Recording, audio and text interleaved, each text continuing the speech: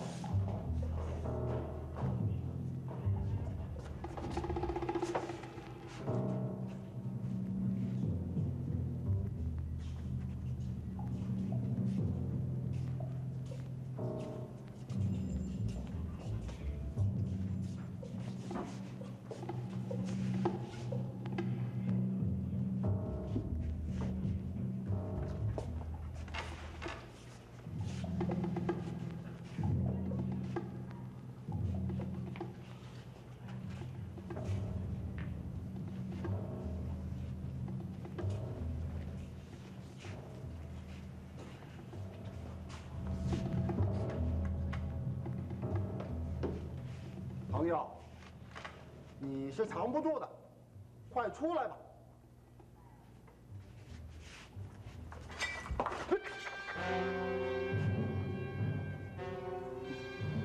朋友，你鬼鬼祟祟的躲在这墙角下，到底是干什么？我不过是路过的，走累了，没银子住客栈，只是在这巷子歇歇腿，这有何不妥？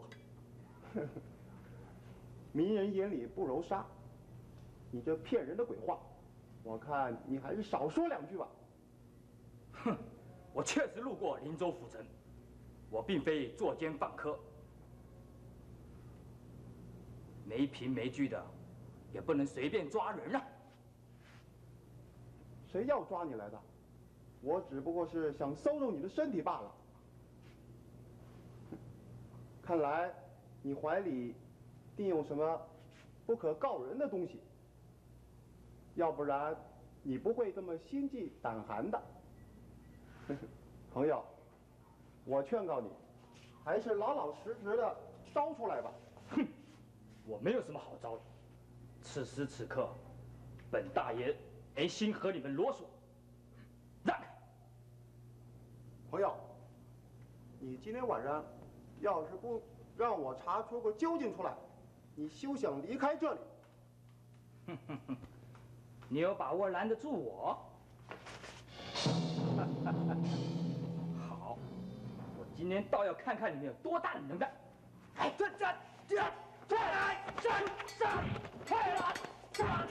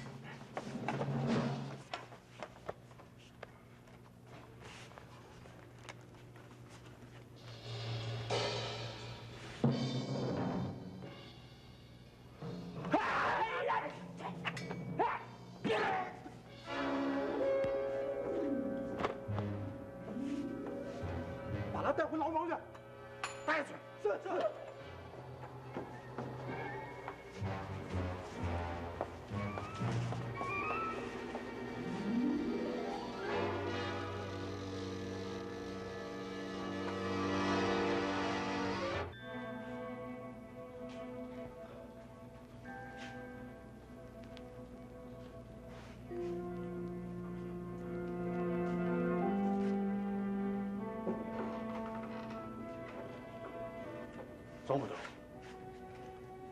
怎么样了？大人确实是在西浦村的郊外查看疏通河川之事，若要赶回府城，最少也要三天的时间。哦，三天。要是三天大人才回来，定夺此事，那那不就迟了？总捕头，这件事有这么重要吗？嗯，不错。石荣，你知道我们截的这封信到底是什么信吗？属下不知道。这封信是叛国贼在暗通消息的铁证。这信中字句令人气愤，可惜信上没有通信人和收信人的名姓，而且送信的人已死。我看，我看，还是赶紧启程，把这信送到京师去。总捕头，这奸贼要是知道送信的人死在岭州，他们一定会尽全力。追查这封信的，我若是把这封信送到刑部去，相信他们一定会由这封信追查出奸贼究竟是谁。总捕头，属下愿意陪您一起赶赴京城。不，石荣，我这趟去自会小心的，这儿还需要你多多加照顾。你就留在这儿吧。这，是。事不宜迟，我这就动身。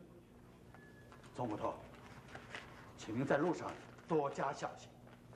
嗯。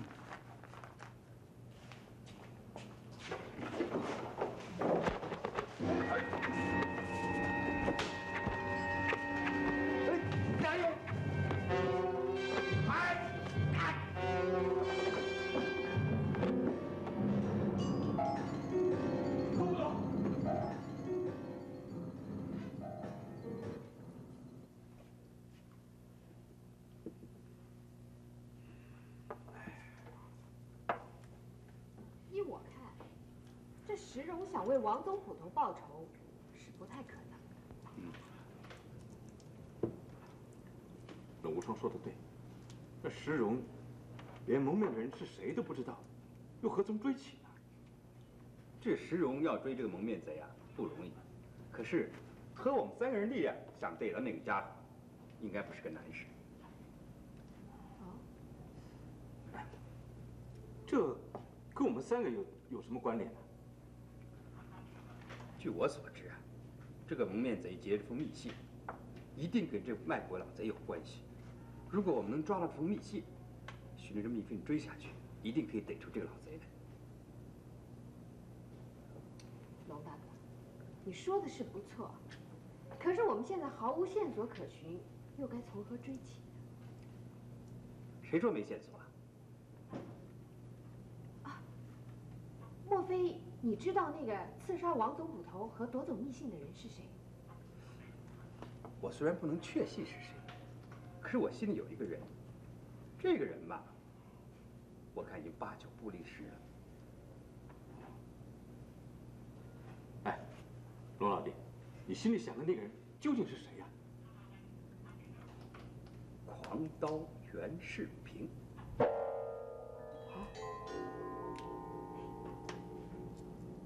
龙大哥，你怎么能够断言那个蒙面人就是狂刀袁世平呢？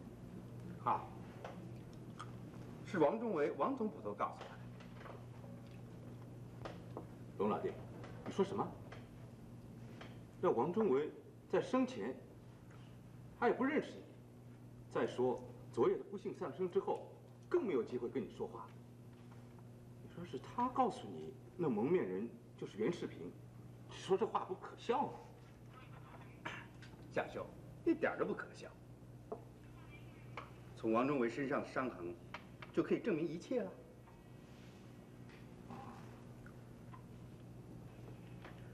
灵州府的仵作检验他的遗体，发现他身上有十几处的痕迹，全是刀伤。一点都没错，全是刀伤。罗老弟，你说要王总捕头跟着袁世平只不过交手两招，在电光火石短短的时刻里，能连砍他十几刀。事实如此啊。这么说来，那袁世平可是天下出刀最快的人了。传闻他在一招之间七式变化，招招凌厉无比，事事能夺人性命。嗯，这样，你们两位不该怀疑，我怀疑这个家伙就是袁世平了吧？这么说来，这袁世平是难逃嫌疑了。哎，你说，咱们是不是要去会会这个人啊？既然二位同意，我们不妨去一次同州府。去同州府查，你们想，这蒙面人是在灵州府接回这个密信，他一定会把这封密信送回京城里去。那么，从灵州府到京城之间，同州府是必经之处。我们到同州府去，顺道可以截拦这个人。如果截拦不到，我们可以在同州府会一会袁世平。现在怎么能确定袁世平就是住在同州府呢？这个我知道。这袁世平住在同州府城外的莫愁湖湖畔的莫愁居。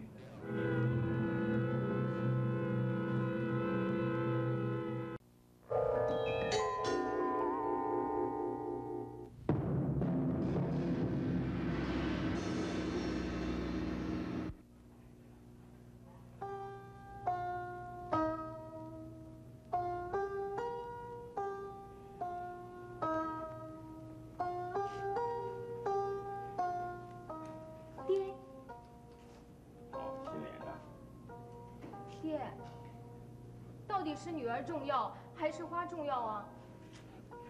当然你比花重要。爹嘴里这么说，心里可才没这么想呢。金莲啊，你这样说你就错了。爹，我人家说的是实话。爹每天全副心思都放在这些花草上，至于女儿怎么样了，爹全都不管。好好好，犯我错，算我不对。金莲呐，那你说你要爹怎么样对你呢？这个，我得好好的想想。好，你不要想，金莲，爹会把空余的时间全部留给你。究竟你是爹唯一的亲人，我应该好好的陪陪你才是。爹，你不要说这样的话嘛。金莲，爹跟你一样说的全是实话。爹，你不要想的那么多，我会好好的照顾爹，让爹安安稳稳的过日子。但愿如此。爹，你回厅里歇歇，我去泡壶浓茶，陪您下棋，好不好？好好好，有你如此，我也就心满意足了。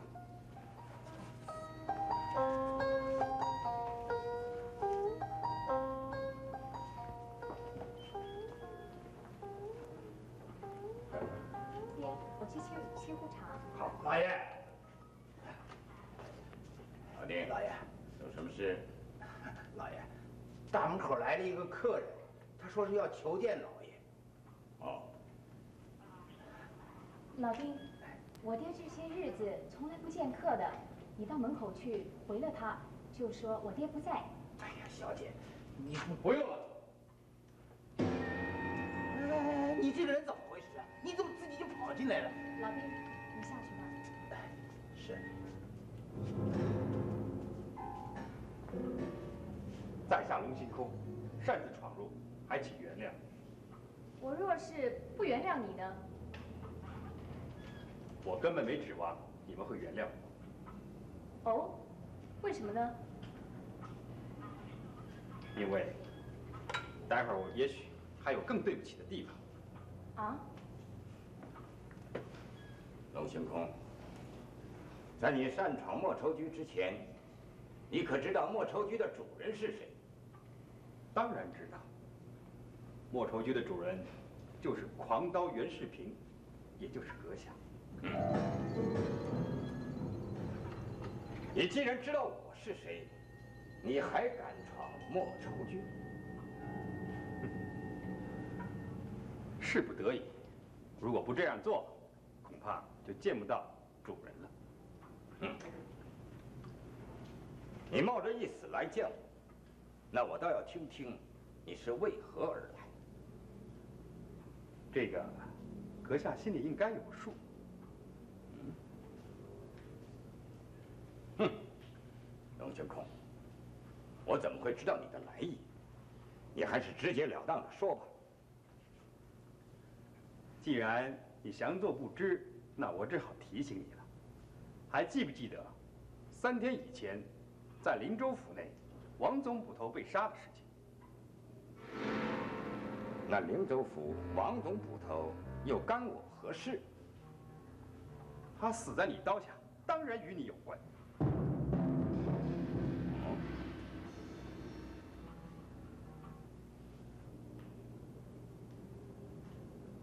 你若老老实实认罪，将夺来的密信交出来，那就罢了；否则，哈哈哈哈哈哈！龙星空，王总捕头绝非死于我的刀下，因为一个月前，我当着诸多好友之前，封刀归隐。龙平龙行空，我爹说的全是真话。我爹封刀后，再也没用过他那把刀。杀王总捕头之人，与我爹毫无关系。两位说的话，我虽然想相信，可是我却不能信。你为什么不能信？因为这普天之下，能在短短两招之内伤对方十余处者，只有狂刀袁世平。嗯。不错，我的狂刀招式，天下刀法难出其右，就是只能在我的狂刀招式之下，才能在两招之内连伤对手十余处。既然你承认了，那王总捕头也就是你杀的了？龙行空，那王总捕头。是丧生狂刀招式之下，不错。这这就太过离奇了。我从来没有收过徒弟，甚至我的女儿，我也没有传授她我的狂刀招式。天下之间，只有我会。而且，在三天之前，我并没有到。灵州杀害王总捕头，这，哼哼，杀没杀？我想你心里自己明白。龙行空，听你的口气，莫非认定了我爹就是杀王总捕头之人？因为能在短短时间内杀人数十刀者，只有狂刀袁世平。要是我不来找他。那我去找谁呢？可是我爹已经封刀了。虽然你爹已经封了刀，可是谁又知不知道他悄悄在用过刀？龙星空，我虽不知道王总捕头究竟是怎么回事，但我绝非凶手。你扬言封刀，但是我倒要试试。看你到底有没有封刀？不知道你如何施法？当然逼你出刀。记住！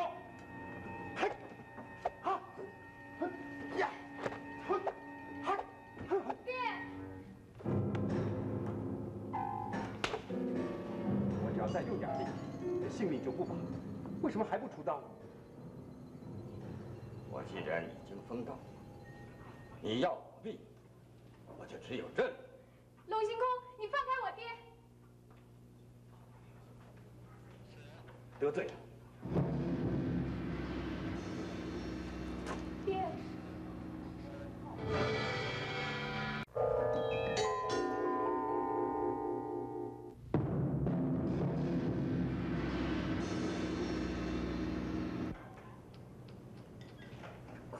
狂刀袁世平宁可一死，却不愿出刀自保。没错，这么说来，他封刀之事绝非虚假。这普天之下，只有他会狂刀的招式。他现在封刀了，这夺信杀人之人会是谁呢？哎，那袁心莲，他会不会武功啊？会倒是会，不过只是粗浅的武功，不堪一击你。说那袁心莲会不会偷偷的学习了狂刀的招式，暗藏不露啊？不不不，不会。当时我制住他爹，如果他真的会狂刀的招式，应该出刀相救。可是他没这么做。依我看，袁世平并没有把狂刀的招式传授给他女儿。这么说，那咱们就毫无线索可寻了。看来，咱们是前行无路了。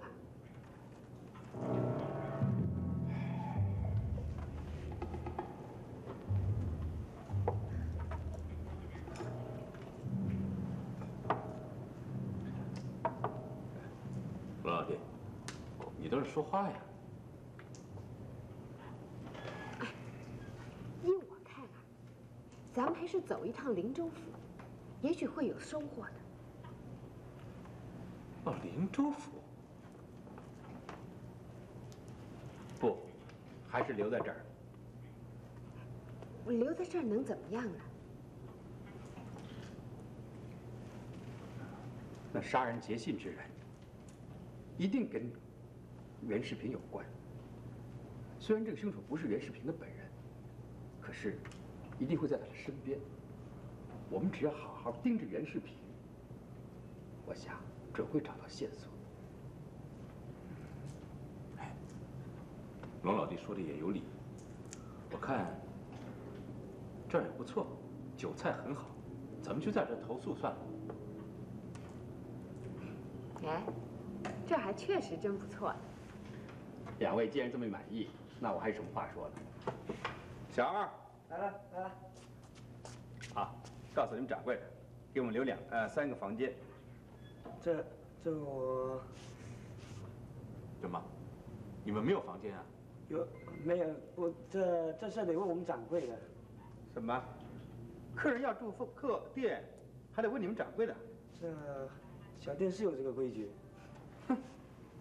我们走遍天下，就没碰到过这种事情。是。小二，请你们的掌柜来，让我们直接问问他。这是是是是。搞半天，掌柜的是个女的。虽然年纪大一点，可是还有几分姿色，风韵犹存呢。想必当年还不是个简单的人物呢。掌柜是女的有什么稀奇的？你们俩少对别人评头论足的。是是是。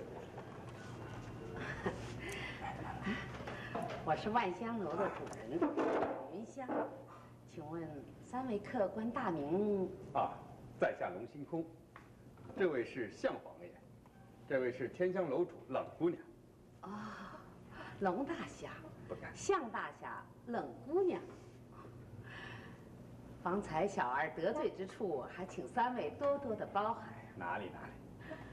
啊，我们万香楼并非对投诉的客人刁难，只是小儿不便做主，所以才来问问我。啊，我已叫他们准备好了三间清静的上房，三位请吧。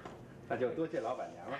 小二带路。客官请，客官请，客官请，客官请，客官请。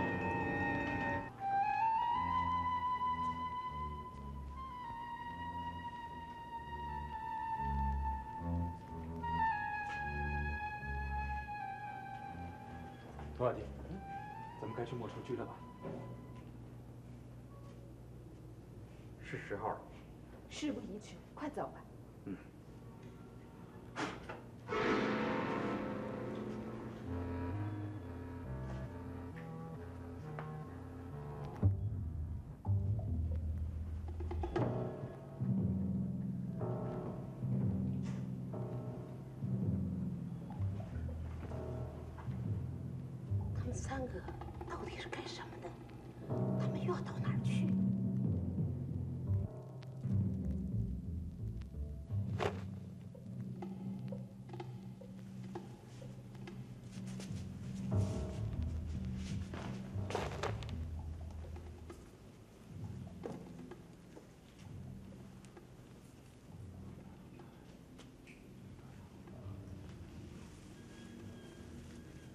青莲，哈哈，青莲，怕什么？是我啊。二郎，你这算什么嘛？把我吓得连气都喘不过来。好了好了好了，我是跟你逗着玩，你不要生气嘛。人家今天心里已经不舒服了，你还故意逗我。青莲，谁晓得你心里不舒服嘛？我跟你对不起，下次不敢了。你呀、就像永远长不大的孩子。哎，心莲，你这话什么意思呢？我是烧的接到你的纸条，我急急忙忙赶来，要好好的教训那龙行空的。嗯，心莲，我可是顶天立地的大丈夫，可不是你说的什么长不大的孩子。好，算我说错了，好不好？二郎，我派人捎个纸条给你，只不过是告诉你龙行空来过我们家的事，谁又要你去教训他了？龙兴公有心欺负你们妇女，我当然要教训他。二郎，心莲，你是担心我的武功是不是？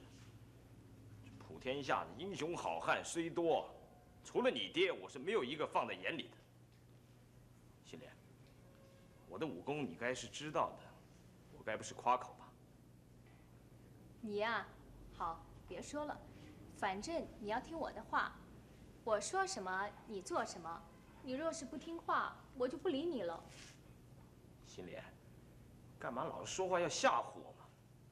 好吧，以后听你的就是了。真的心莲，我们到后山走走好不好？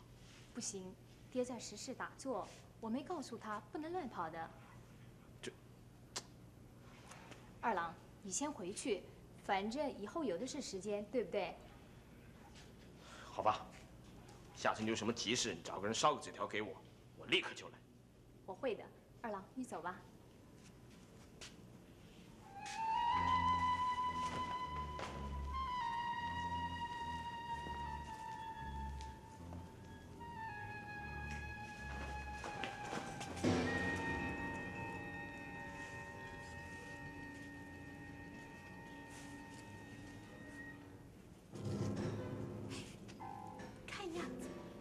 这胡二郎是袁心莲的秘密。那袁心莲会不会把他爹的狂刀刀谱偷偷的传给胡二郎啊？哎，这也无不可能啊！哎，向兄，你去试试那胡二郎的功夫，看他有没有学过狂刀的刀法。好，那我们俩呢？我们两个留在这儿守候他们父女两个。哎，既然这样，我现在就去了。哎，小熊，你只试试他武功，可千万别伤人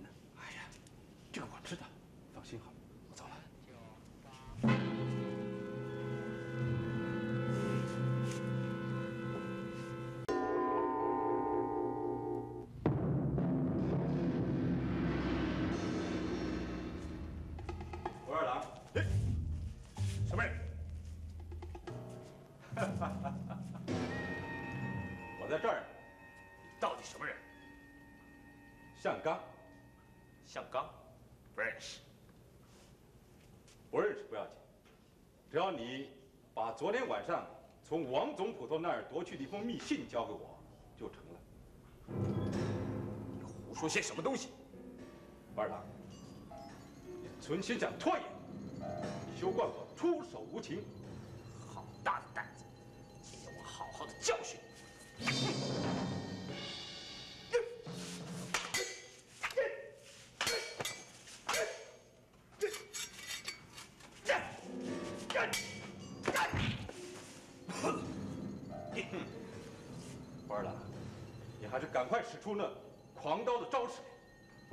今天就活不成了。刀的招式，我没有学过。王二郎，快使出招式！你你到底什么意思？不要多问了，使出招式来！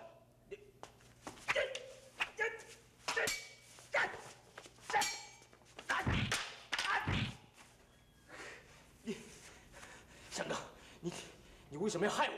你什么意思嘛？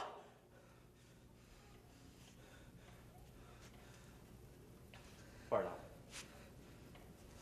来来来，没事，刚才多有得罪，你现在可以回去了。向刚，你快走，不然我改变主意，想走也走不了。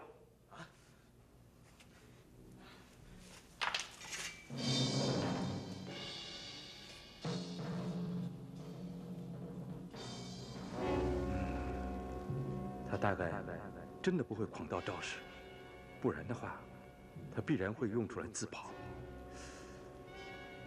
他大概真的没有学过狂刀了。哎，杀王总捕头的人会是谁呢？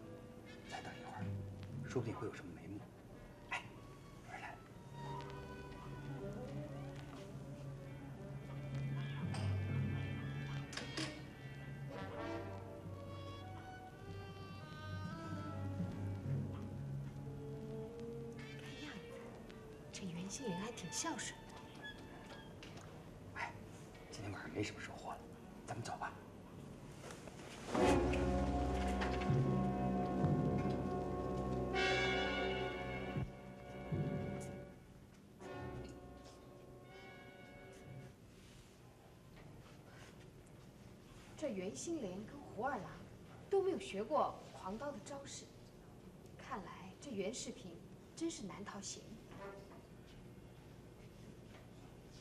可是，这袁世平毫无动静。我想这袁世平，要不是耿直诚实，就是狡诈过人。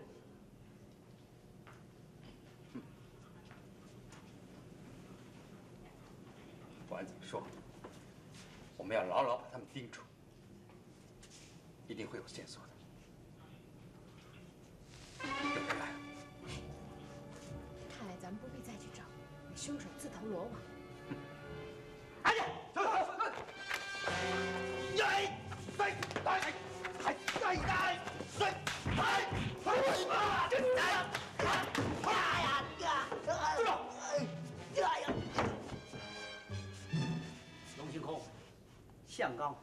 冷无双，你们的好大胆，竟敢拒捕！哼我们并非拒捕，而是你们来的太突然哼。照你这么说，我们应该敲锣打鼓、大声嚷嚷的进来吗？我可没这个意思。请问二位怎么称呼？同州府城总捕头柳长天，岭州捕头石荣。石捕头可是王总捕头的属下。不错。我听说你们由柳州赶赴京师，必须要经过同州，所以龙星空我劝你赶快献出密信，不要再心存侥幸了。啊？刘总捕头、石捕头，我想二位一定是误会了。哦，两位确实误会了，你们不妨想想看，我们三个人身手还不错，如果我们真是作奸犯科之辈，刚才就会拼命夺门逃出，怎么会放人留下跟二位对面呢？这这，我想，二位最好相信冷姑娘的话。我们对王总捕头被刺的事情也感心痛。如果我们有机会抓到真凶的话，我们一定会助二位一臂之力。这，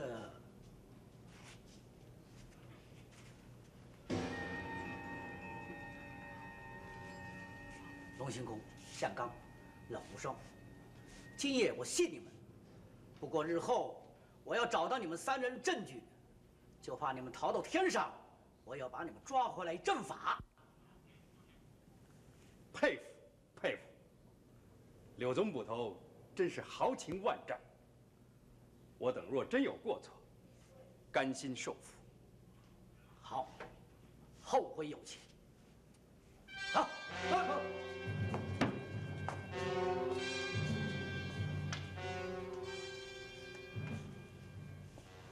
哼这石荣跟柳长天怎么会找到这儿来呢？我想，一定会有人去密报，说咱们三个人形迹可疑吧。这又会是谁告诉柳长天他们的呢？谁知道？哎，时候不早了，你们也该回房歇着了。明天啊，咱们还要忙一天呢。好，那我们先回房了。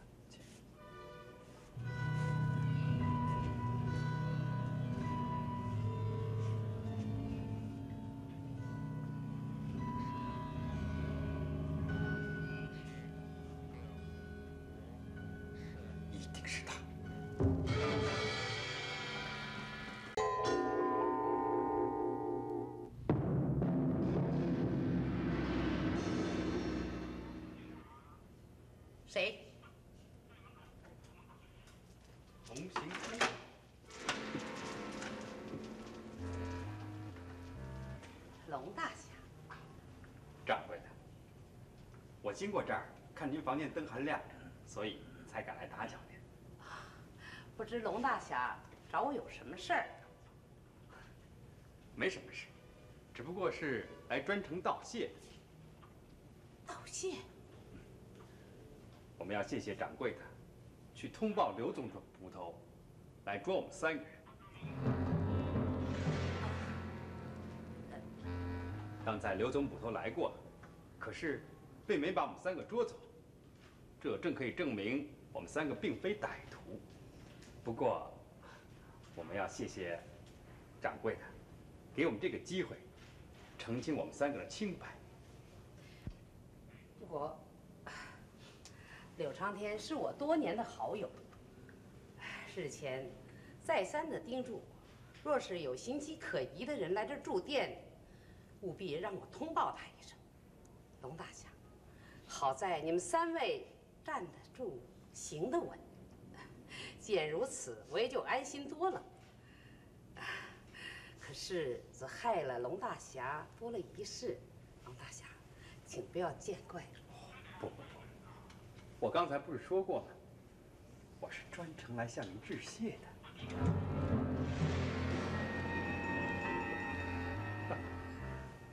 看您这店的样子，掌柜的在此开店已经多年了。不错。那掌柜的对地面上认识的人不少哦。不错。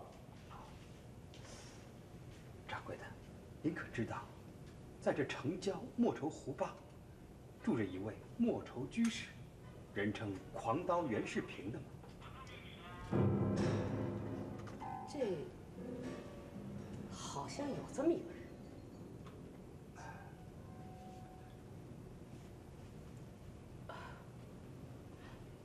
我，我跟他多年曾经有一面之缘，可是我们从来没有往来过，生疏的很。哦，王大侠，请问您要打听狂刀袁世平有什么事吗？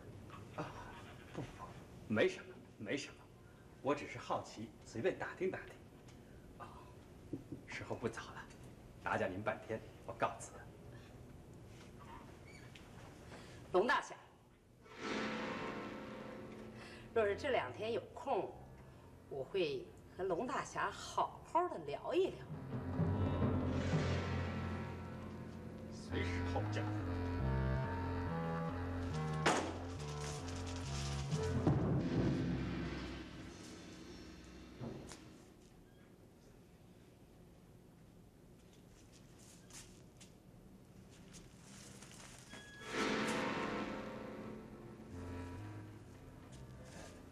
下汪老师，阁下想必就是我那位雇主啊。在你未找我之前，有没有打听清楚我的规矩？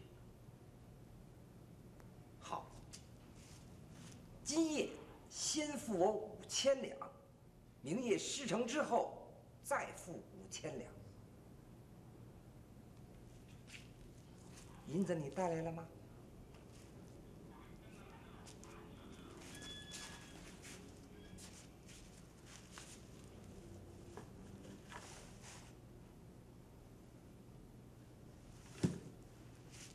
好，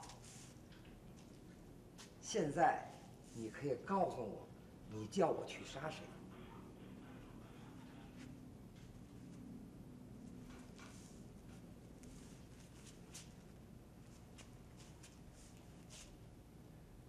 狂刀袁世平事成后，明夜在朱家废园付另外五千两。